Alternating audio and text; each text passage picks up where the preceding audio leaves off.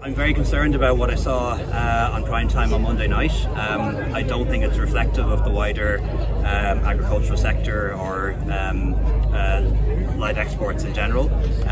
But what we did see is people breaking the law, uh, people mistreating uh, young animals, uh, and also um, truckers and hauliers not taking their own rest breaks um, or looking after the animals they're transporting properly. And that is a matter of concern. It creates a risk. Uh, the challenge now is for us to deal with it, and that's why we're very keen to um, get the footage um, begin an investigation, and the Department of Agriculture is doing that, uh, and then bring forward prosecutions, because that will send out a very clear message uh, that we as a country, we as a society, uh, we as a food producing nation um, don't tolerate animal cruelty.